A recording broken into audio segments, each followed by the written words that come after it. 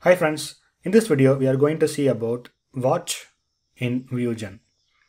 I hope last two videos uh, you have learned about how to debug your uh, VuGen script using uh, run step by step and uh, breaking points. In this video we are going to see about watch, how it can be useful uh, for debugging purpose. So this is the sample snippet I have uh, created. So it is very simple script so line number 5 has one uh, uh, get call and line number 3 I have uh, declared a variable integer HTTP code. Uh, line number 14 will get the HTTP uh, code of the this request and then it will check whether it is less than or equal to 200 it will write the message as success otherwise it will write the message as failure in the output log. So now we will see how the watch will be useful for debugging purpose. So to enable watch pane in your uh, layout, you need to go to view and go to debug option and select watch. So once you select watch in the uh, at the bottom or wherever it, it should appear, you can see the uh, pane watch pane and uh, by default the watch pane will be uh, disabled and also it will be empty.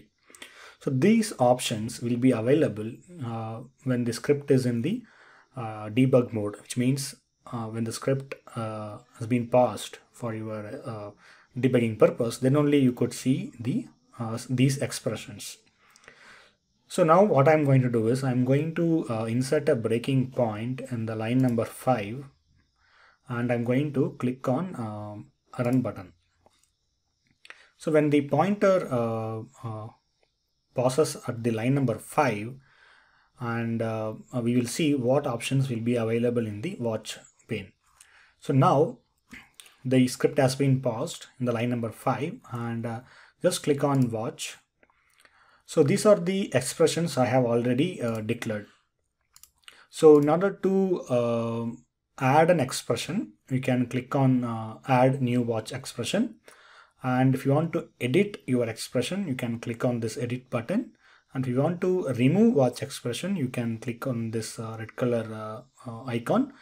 Or if you want to remove everything you can use this grayish remove button so now I have cleared everything and we will see how to make use of this expression for the debugging purpose as I said to watch an variable and its current uh, runtime value, uh, you can use uh, both two options. One is runtime data and if you want to go for specific variables, you can use watch.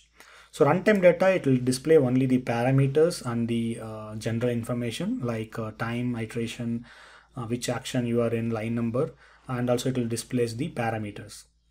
But now I want to specifically uh, watch out for the variable HTTP code. So what I'm going to do is I'm going to copy this HTTP code variable name and in the watch pane, I'm going to click on this uh, plus icon and I'm going to uh, paste here and click on OK. So right now it is displaying two informations. One is the value of the expression and the type name which is integer and right now the value is 0. Now I'm going to uh, execute using a step-by-step -step option.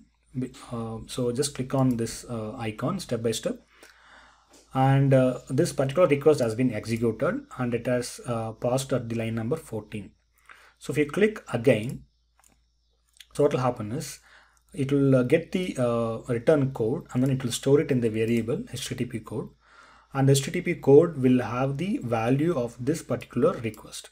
So this request is uh, 200. So that is why you are seeing the expression uh, HTTP code. The value is 200 and the type name is integer.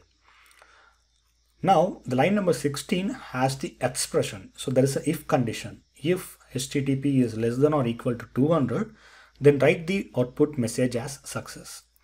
So now uh, assume that I want to uh, add the expression the whole expression http code less than or equal to 200. So again, just click on the uh, add new watch expression and paste it here and click on OK. Now you can see it is saying incorrect expression. So VuGen will not evaluate any expressions. Expressions mean any conditions. It will evaluate only the variable and its runtime value and its type name, not the expression. So do not use any conditions in your watch window. So now go to uh, next step and it is displaying the, uh, it will write the message as success and then uh, it will return the code and then uh, it will go to the iteration number uh, 2. So I'm going to stop the execution here.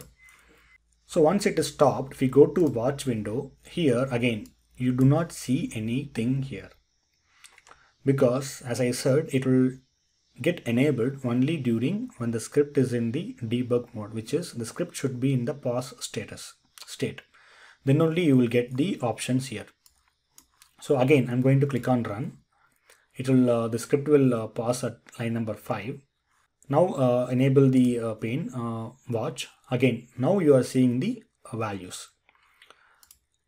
So if you want to delete this particular expression, just select the uh, expression and click on delete button to which will remove your watch expression.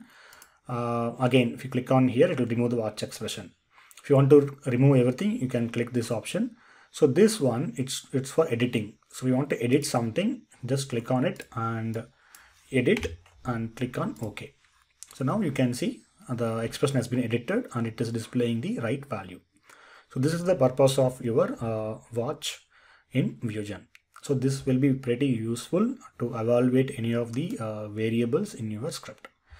I hope this video is pretty useful to you guys. If you have a time, please go to my next video. Otherwise, thanks for listening. Have a great day.